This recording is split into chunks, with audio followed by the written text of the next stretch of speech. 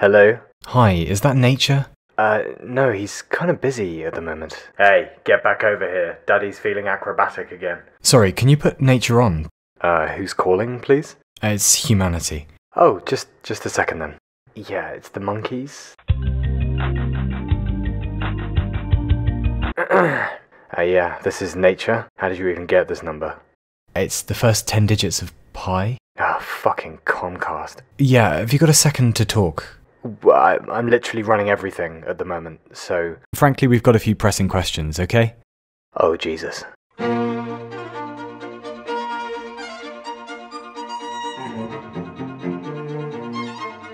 Light is pretty fast, like this fast, and that's the fastest anything can go, according to Albert Einstein. Why? Actually, while we're on the subject, why is anything set up like that? Why is gravity this strength? Why do prime numbers go in that distribution? Is Firefly ever coming back? What decided molecules would bond in the way they do? Hmm. Eh. Hmm. Why are the laws of physics the way they are? Do they have to be like that, or is it just one form they can take? Is this the only type of universe that can be made, or just one variation of potentially billions?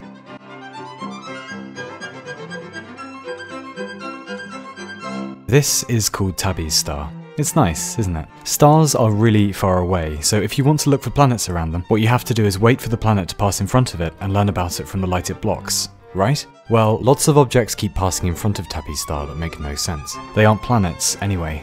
They might be fragments of comets, they might be something natural we don't understand, but whatever it is, we haven't seen anything like this before. Might, uh, might be aliens? If you're an alien civilization and you're really clever, you probably need lots of energy.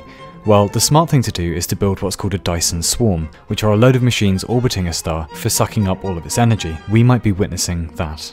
We might not. Pretty weird though, whatever it is. Actually, while we're on the subject, where are all the aliens, exactly? The universe has been around for ages. Life started fine on Earth. Why is it so quiet out there? Well, maybe they're not using radio waves. We've only been using them for just over a century. Maybe they found another type of communication.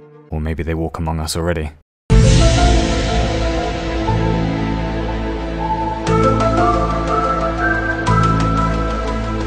In any case, Tabby's star is kinda weird, we don't understand why it's behaving like that, and right now it's a fun mystery.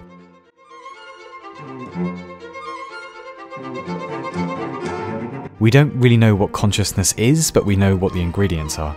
Two humans who can at least tolerate each other for a few minutes, about nine months, and food, and for some reason that gives rise to self awareness.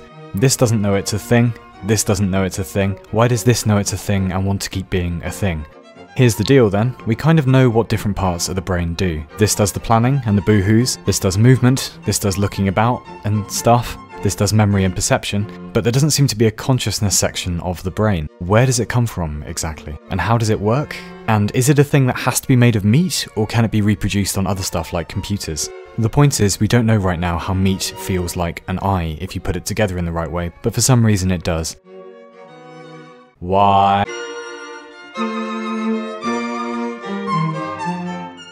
Why did life happen on Earth? Can it happen again on other planets? We have no idea.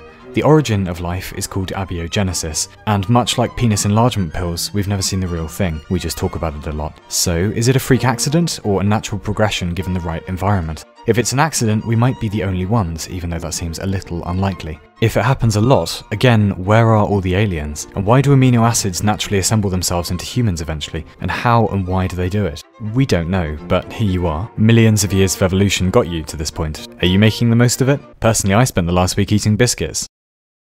And looking at photos of Margot Robbie.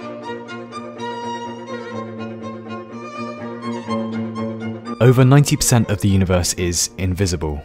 Why? What does that even mean? Some of the invisible stuff is called dark matter. We know it's there, for one thing, because galaxies look kinda weird. But dark matter doesn't give off any light, as you may have guessed in the name, which is weird because that's not how matter usually behaves. The other stuff is called dark energy. We know it's there because the expansion of the universe is slowing down, right? Because that's how stuff works. Oh, wait, no, it isn't at all. It's speeding up because, well, because it just is, right? And that's because of dark energy, and we have no idea what that means. Dark matter and dark energy are basically just blank checks right now to explain away stuff we don't understand. It might be they're not real at all and we're just wrong about gravity. It might not, but still, yeah. Why? Yeah, good questions. We'll have to do this again sometime. Oh, right. It's like that, is it? We're not going to get any answers then. You're doing fine. Don't worry about it. See you around, huh? Yeah, just one more thing while we've got you on the phone. Yep. Uh, just out of interest, Yes. can aging be reversed? What? I I have no idea. And why does antimatter exist? I don't know. And why is there such a big difference between human intelligence and the rest of the animal kingdom? What? I, I really don't know. And why is there something rather than nothing? And are we alone in the universe? And is space infinite? And why do we blush? And why do brain freezes happen? And Yeah, sorry, just got another call waiting. Ten seconds. Hello, asteroids department? Yeah, they're getting clever again. Remember the dinosaur thing? We need another one of those.